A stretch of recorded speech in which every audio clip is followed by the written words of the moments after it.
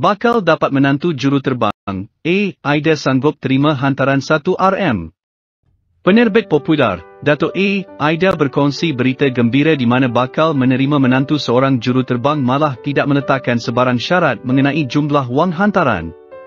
Menurut laporan Cosmo, penerbit yang berusia 53 tahun itu enggan untuk masuk campur mengenai perkara tersebut kerana dia mahu memberi ruang kepada anak sulungnya, Wan Az Alisa serta bakal menantunya untuk membuat keputusan. Soal itu, wang hantaran, saya tak kisah langsung. Saya serah kepada anak saya dengan bakal suaminya. Saya tak pernah tanya berapa bakal menantu nak bagi wang hantaran apa semua.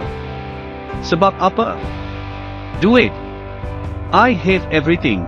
Saya ada segala-galanya, ujarnya.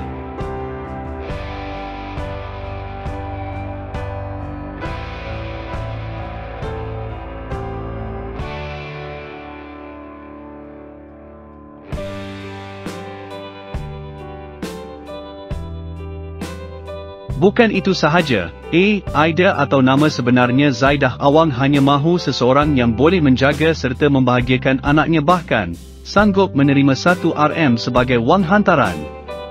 Duit saya dah ada.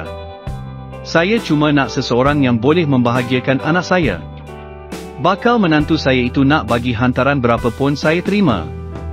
Satu RM pun saya terima, katanya lagi. Sebelum ini, A. Aida memaklumkan anak perempuannya itu bakal menamatkan zaman bujang selepas dirisik oleh jejaka yang bernama Zain Azrai Abdul Aziz. Difahamkan, majlis pertunangan akan diadakan pada 20 Mei ini dan pernikahan bakal berlangsung pada 15 Julai depan jika tiada sebarang halangan. Sekadar info, Wan Az Alisa merupakan anak sulung A. Aida hasil perkahwinan bersama dengan penyanyi terkenal, Aming Spring.